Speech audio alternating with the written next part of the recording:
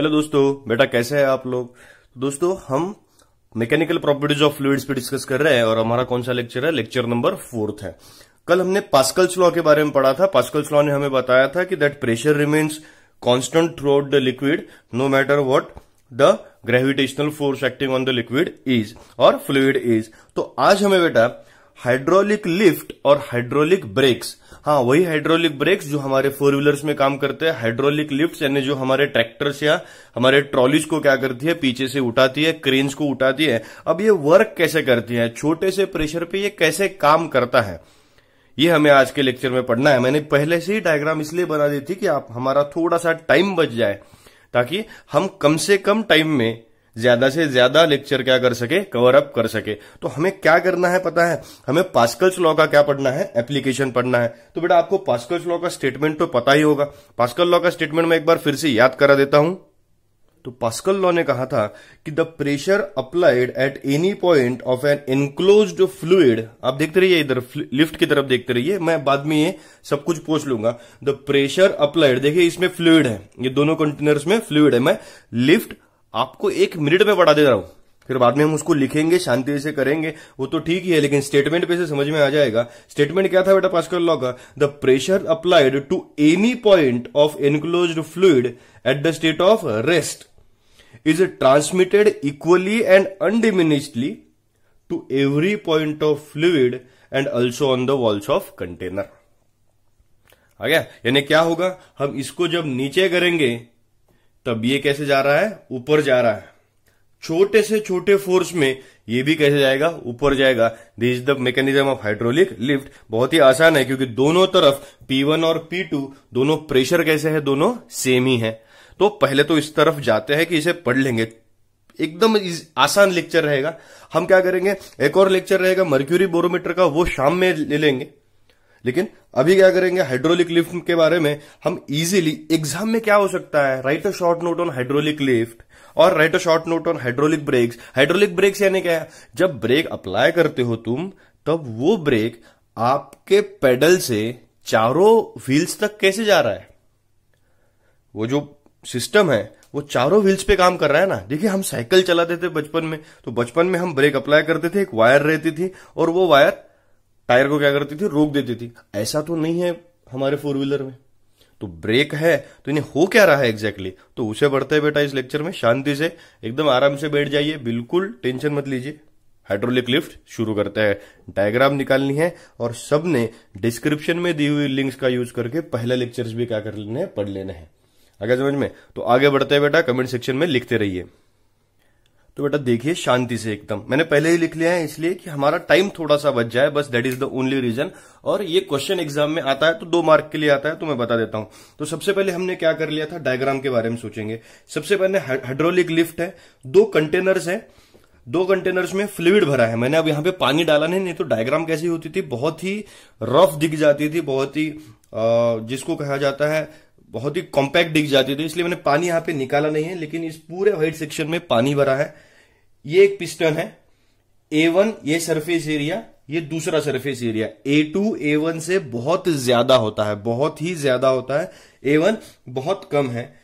P one P two P one is the pressure on A one P two is the pressure on A two अब अंदर सब पानी और fluid भरा है। ये आप समझ लीजिए। अब हाइड्रोलिक लिफ्ट का यूज़ क्या होता है कि यहाँ पे इस लार्जर एरिया पे कोई लोड अगर हमने रख दिया। अब हमें क्या करना है, समझ लीजिए कि हमें इस पेन को उठाना है। ये पेन एक बहुत बड़ा लोड है। अब क्या होगा? अब हम इसे डायरेक्टली तो नहीं उठा सकते।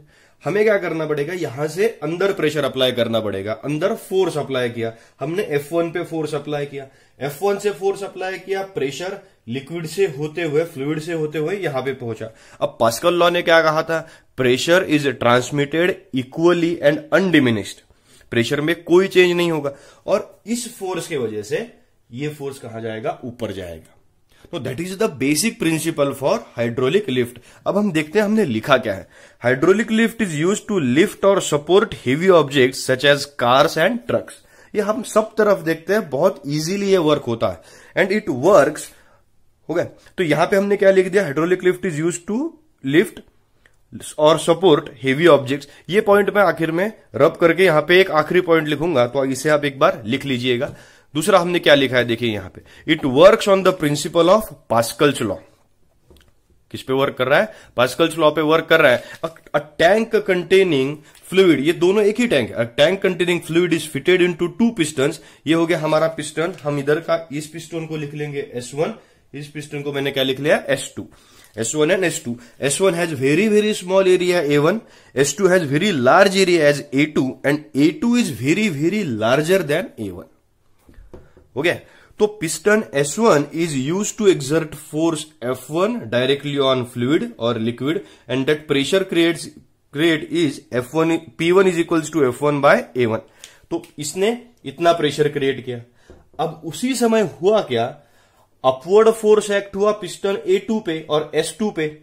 और वो फोर्स था P2 टू इंटू ए ये कौन सा फोर्स था? ये अपवर्ड फोर्स था क्योंकि ये कहा आ गया? नीचे आ गया। ये नीचे आया, इसलिए ये कहा गया, ऊपर गया। इस इस ट्रेवलिंग से प्रेशर ट्रेवल हुआ।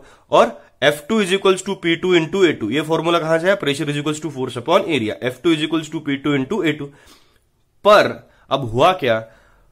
प्रेशर पी वन और पी टू तो लिख ही नहीं सकते ना आप। प्रेशर दोनों तरफ़ कैसा है बेटा? सेम ही है। तो according to Pascal's law pressure दोनों तरफ़ कैसा आया? सेम आया। So P one is equals to P two तो we can write F one is equals to P one into A two and P one की वैल्यू क्या लिख दी? F one upon A one अब देखिए equation क्या हो गया? F two is equals to F one A two upon A one अगर ए to बहुत ज़्यादा है ए वन से तो एफ़ टू भी एफ़ वन से कैसा होगा? बहुत ज़्यादा होगा। यानी सेकंड इसमें का फोर्स सेकंड कंटेनर और सेकंड एक ही कंटेनर है सेकंड पिस्टन का फोर्स पकड़ लीजिए ए टू का फोर्स पकड़ लीजिए ए वन के फोर्स से बहुत बहुत बहुत ही ज़्यादा है। क्यों? क्योंकि हमने इसे प्रूव कर दिया। क्योंकि प्रेशर इज़ ट्रेवलिंग अनडिमिनिशली तो this this is the only reason this shows that small force even very very small force on S one will appear as very large force on S two इसलिए तो होता है ना कि हम बहुत ही कम force apply करते हैं। हमने फोर व्हीलर का जैक देखा होगा। फोर व्हीलर का जैक देखा होगा ना, कि बहुत कम फोर्स अप्लाई करते हैं और पूरी व्हीकल क्या हो जाती है, उड़ जाती है।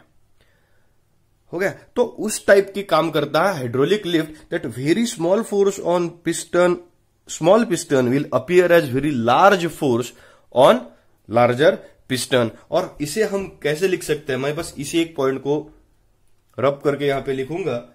Therefore we heavy object therefore heavy objects can be easily moved up and down. They can be easily moved up and down देखिए बोर्ड्स के लिए करवा रहा हूँ, बहुत ही इंपॉर्टेंट है। कहा, इतना सब कुछ लिख के हम बहुत ही डिटेल में हाइड्रोलिक लिफ्ट को समझ सकते हैं। आपको समझ में आ गया कि बहुत कम फोर्स जब एफ़ पे लगेगा तो बहुत ही ज़्यादा फोर्स कहाँ पे लगेगा? ए टू पे लगेगा। सेम स्ट्रक्चर्स में हाइड्रोलिक ब्रेक्स भी काम करते हैं बेटा। लिख लीजिए स्क्रीनशॉट निकाल लीजिए, ताकि आगे बढ़ सके। और अब कहा पे जाएँगे हम? हाइड्रोलिक ब्रेक्स पे। ऐसे ही काम करते हैं सेम स्ट्रक्चर होता है। आएगा समझ में आपको? तो लिखते रहिए। हम आगे बढ़ते हैं। तो बेटा चलिए पढ़ते हैं हाइड्रोलिक ब्रेक्स के बारे में। बहुत ही आसान है, लेकिन थोड़ा सा अलग है। देखिए मैं डायग्राम निकाल कर रखी है। शांति से देखिए क्या है। डायग्राम के ध्यान दीजिए, बाकी नीचे कुछ भी मत देखिएगा। अब हम क्या कर रहे हैं, देखिए, हमारे पास एक डायग्राम है जिसमें हाइड्रोलिक ब्रेक्स का पूरा स्ट्रक्चर दिया है। ये सब बॉक्सेस है। बॉक्सेस मैंने निकाले हैं। ये मास्टर सिलेंडर है, ये आपका पैर है। ये आपका पैर कि जिससे आप ब्रेक दबाएँगे। ये जो ब्राउन कलर का दिख रहा है ना, ये मास्टर सिलेंडर, यानी अपना ब्रेक ब्रेक के नीचे ये सिलेंडर होगा। इसे हम ए कहेंगे। ये हमारा क्या हो गया? ए हो गया। अब ये चार पहिए हैं जो पहियों पे गाड़ी चल रही है। आगे समझ में? यानी ये एक पैर को पहिए को लगा है, ये एक पहिए को लगा है, एक व्हील को है एक व्हील को है। तो ए टू ए टू सबको लिख लिया। इसे हमने कह दिया स्लेव सिलेंडर्स। ये मास्टर, ये क्या हो गया? स्लेव। अब होगा क्या? हम जब ब्रेक पे पैर लगाएँगे और थोड़ा सा प्रेस करेंगे तो ये ऑरेंज ये जो पिंक कलर का है ये पेडल पुश करेगा ऑयल को। ये सब कनेक्टेड है अकॉर्डिंग टू हाइड्रोलिक ट्यूब्स अब ऑयल सब तरफ़ है। अब पास्कल साहब ने क्या कहा था कि प्रेशर सब तरफ़ इक्वली डिवाइड होगा। जब हम ब्रेक अप्लाई करते हैं बेटा तो होता क्या है? यहाँ से, देखिए एक बार मैं स्केच पेन हाथ में लेता हूँ, फिर बताता हूँ कि हो रहा क्या है। देखिए, यहाँ से पैडल आपने दबाया this is our A one यहाँ से हमने पैडल दबाया अब ये जो ब्राउन कलर का फ्लूड है, ये पिस्टन आगे बढ़ गया और ब्राउन कलर का फ्लूड आगे बढ़ गया। आगे बढ़ गया तो ये सब पिस्टन कहाँ हो गए? फॉरवर्ड पुश हो गए। क्यों? क्योंकि ऑयल तो मेंटेन करना है ना ट्यूब्स में। उसको जगह ही नहीं है एक्सपांशन की। अगर एक्सपांशन की जगह उसको नहीं है तो हम क्या करेंगे? ये ये पिस्टन्स क्या हो जाएगा? अपने आप मूव हो जाएगा। और सब तरफ़ से ये पिस्टन क्या होगा? आगे मूव होगा। और ये पिस्टन्स स्लेव सिलेंडर में के पिस्टन्स जब आगे मूव हो गए तो ऑटोमेटिकली किसको टच करेंगे? व्हील्स को टच करेंगे और व्हील्स क्या हो जाएँगे? रुक जाएँगे। समझ में आ रहा है आपको? हो क्या रहा है? कि ये हमारा कौन सा सिलेंडर है? मास्टर सिलेंडर इस पे हमारा पैर है, ये हमारा पैर है। इस पैर से ये पिस्टन आगे बढ़ेगा। ये जो ब्राउन कलर का आपको दिख रहा है, घूमता हुआ, दौड़ता हुआ, ये सब ऑयल है। इस ऑयल को फ्लूड कह सकते हैं। ये जो ट्यूब्स निकाली है, ये सब हाइड्रोलिक ट्यूब्स है। अब ये जो चार सिलेंडर्स है, ये चारों के चारों हमारे स्लेव सिलेंडर्स है। अब ये स्लेव सिलेंडर्स क्या कर रहे हैं? कनेक्टेड है मास्टर सिलेंडर से। अब मास्टर सिलेंडर पे क्या अप्लाई होगा? प्रेशर अप्लाई होगा। कितना प्रेशर अप्लाई होगा? F P one is equals to F one by A one फिर ये धीरे धीरे सब तरफ़ जाएगा और ऑयल को मेंटेन करने के लिए सब पिस्टन आगे जाएँगे। और किसको टच होंगे? व्हील्स को टच होंगे और हमारा व्हीकल क्या हो जाएगा? रुक जाएगा। यही मैंने इस पूरे लिखा बड़ी में लिख बताने की कोशिश की है कि हमने एग्जैक्टली exactly क्या किया है। कि सबसे पहले क्या होगा? Hydraulic brakes work on the principle of Pascal's law it consist one master cylinder A one which has one end to the brake pedal फिर बाद में other end of the master cylinder is filled with brake fluid कहा जाता है। आपने देखा होगा, break fluid मिलता है। Brake fluid and connected to slave cylinders A two through hydraulic tubes अब ए टू का सरफेस एरिया ए वन से कैसा है? बहुत ज़्यादा है। तो हम क्या कह सकते हैं? When brake pedal apply very small force F one on piston P master cylinder is pushed and the pressure is given by F P one is equals to F one by A one यानी इस पे apply होने वाला pressure क्या है? P one is equals to F one by A one फिर बाद में हमने कह दिया thus the piston in slave cylinder also push forward to maintain oil level and disc causes friction between rotating disc rotating disc यानी कौन से भी जो रोटेट हो रहा है उसके सामने। Rotating disc and thus vehicle stops और इस वजह से हम लिख सकते हैं, फिर से F two is equals to force जो एफ़ टू एक्ट होगा P two into A two but Pascal's law के हिसाब से पी टू और पी वन कैसे हैं? सेम है। देयर हम यहाँ पे इक्वेशन बनाएँगे that F two is very very larger than F one यानी small force on pedal pedal पे कैसा फोर्स है? Small very small force on pedal creates large force on wheels and this is the principle for hydraulic brakes बहुत ही आसान lecture था हमें hydraulic brakes और हाइड्रोलिक लिफ्ट के बारे में पता चल गया यहाँ पे कि एग्जैक्टली exactly होता क्या है। हाइड्रोलिक ब्रेक्स हाइड्रोलिक लिफ्ट मुझे लिख के भेजिए। समझ में आ गया होगा आपको। एक शॉर्ट नोट तो कन्फर्म एग्ज़ाम में आएगी बिल्कुल आएगी। और इसके बाद में हम छोटे छोटे दो और शॉर्ट नोट देखने वाले हैं, लेकिन वो अगले लेक्चर में देखेंगे। आपको समझ में आ गया बेटा? तो कमेंट सेक्शन में लिखते रहिए मेरे साथ और मुझे लिख के भेजते रहिए। होमवर्क करना बहुत ज़्यादा इंपॉर्टेंट है लिख के देखना बहुत ज़्यादा इंपॉर्टेंट है। अगर आप लिखोगे नहीं तो बेटा एग्ज़ाम तो आपकी रिटर्न ही है। एग्ज़ाम तो ओरल बिल्कुल भी नहीं है।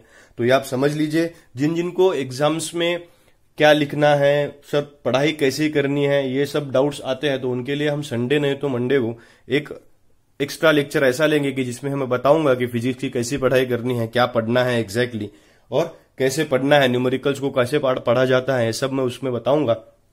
तो उसके लिए भी राह देखिएगा।